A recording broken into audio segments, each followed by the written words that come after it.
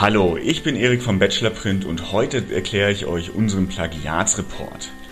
Diesen Report, wie ihr ihn hier auch seht, den bekommt ihr per Mail als PDF, wenn ihr bei uns auf der Seite eine Plagiatsprüfung gemacht habt. Was ist jetzt in diesem Report zu finden? Einmal hier im Kopfteil eine Plagiatsampel und nochmal äh, die Details zu eurem Plagiatscheck. Dann seht ihr hier so Zitate aus eurer Arbeit, die farblich markiert wurden.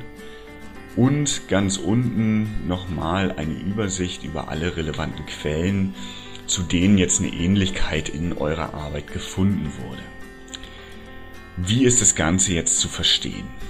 Also, hier oben in der Plagiatsampel wird im Prinzip angegeben, wie hoch der Anteil an Phrasen ist, die so auch eben in anderen öffentlich zugänglichen Online-Quellen gefunden wurden. Grün heißt 0 bis 5% Ähnlichkeit zu anderen Quellen, gelb heißt 5 bis 10% Ähnlichkeit zu anderen Quellen in eurer Arbeit und rot heißt dann über 10% Ähnlichkeit. In absoluten Wörtern heißt es bei mir, ungefähr 28.000 wurden gecheckt, 1100 Zitate wurden gefunden und die verteilen sich auf 55 Quellen. Was bedeuten jetzt diese farblich markierten Abschnitte hier? Die Farben sollen für euch eine Orientierung darstellen. Für jede markierte Farbe gibt es eine Quelle, die Ähnlichkeit zu eurem Text hat. Wenn ihr hier jetzt direkt auf diese farblich markierte Stelle klickt, werdet ihr online zu dieser Quelle weitergeleitet und könnt direkt gegenchecken, alles klar, ähm, ist es ähnlich oder ist es nicht ähnlich.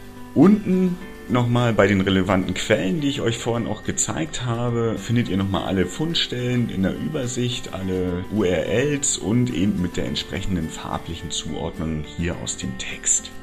Wir werden jetzt häufig gefragt, okay, hm, hier wurde jetzt eine Stelle markiert, ist das jetzt ein Plagiat? Nein, ist es erstmal nicht.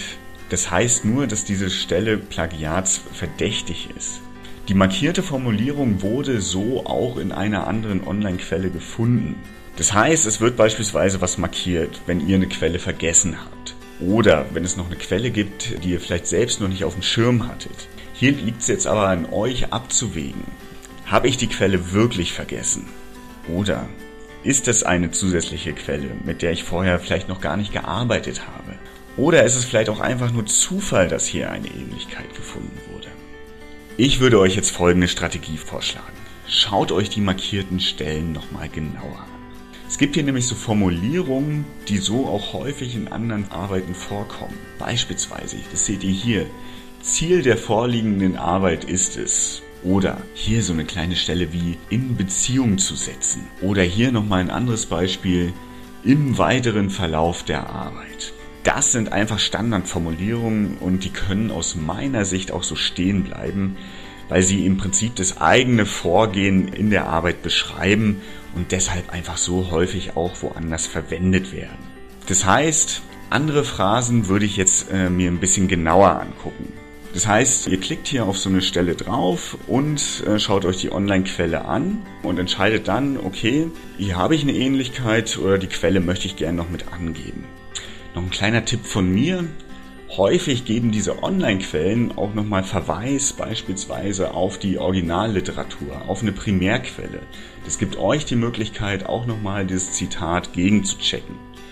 Wichtig ist dann, dass ihr sowohl die Primärquelle angibt, also das Buch beispielsweise, in dem das drin steht, als auch die Internetseite, wo ihr diesen Verweis gef äh, gefunden habt.